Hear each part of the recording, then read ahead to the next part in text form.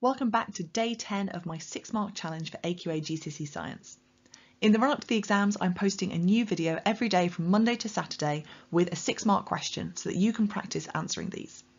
You'll find a link in the description below to each week's questions and also a playlist containing all of the videos that I've already done. Today's question is all about evolution and antibiotic resistant bacteria. Before you dive in, don't forget, this isn't an essay question, even if it looks like one.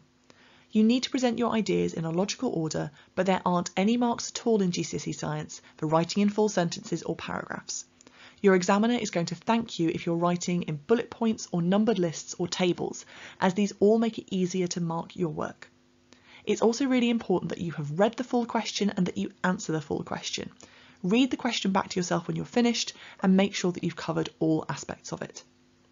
Now, if you haven't done so already, Pause the video and give yourself six minutes to answer this six mark question. This style of six mark question about evolution is really, really common. So it's one that it's well worth you having a model answer for that you learn by heart and then you just change a few words depending on the particular context that you've been given. We always start from the point of view that we're not going to see this kind of evolution if every individual in the population is identical to each other. There must be some variation to begin with. And so we can then specify that in this instance, we're talking about variation in their response to the antibiotic.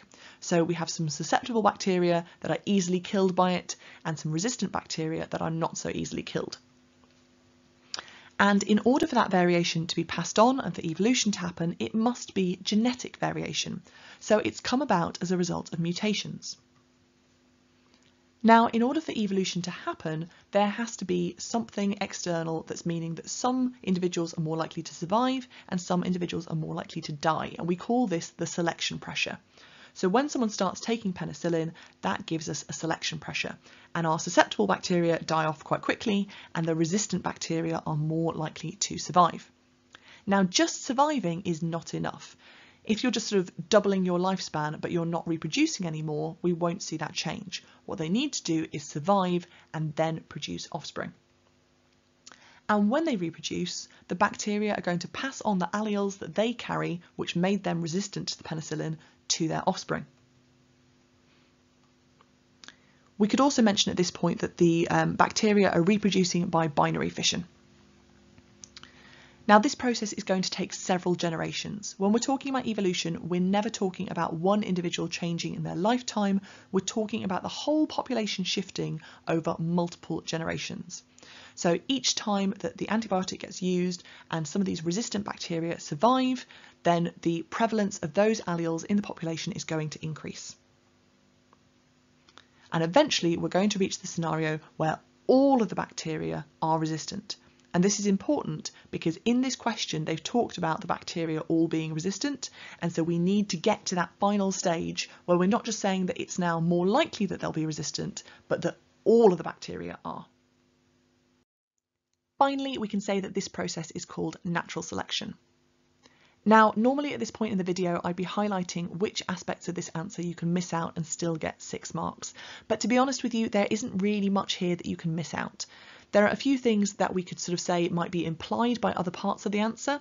So for instance, that first line, we maybe don't need to say explicitly because by describing that there are susceptible and resistant bacteria, we have explained that there's variation, although it is always good to use that keyword if you can.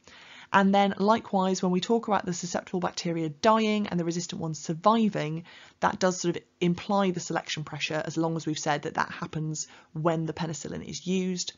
And we probably don't need to say that they're reproducing it by binary fission. But apart from that, you do really need all of the other parts of this answer to get the six marks.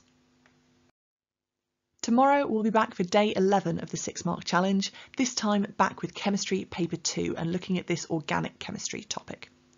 Don't forget there's a link in the description below to all of the questions for this week's videos and also the playlist which contains all of the videos that you might have missed on previous days. Thank you very much for joining us for this day 10 of the 6 mark challenge. I hope that you're finding this a useful contribution to your revision and if you are, don't forget to like and subscribe for more GCSE science videos coming soon.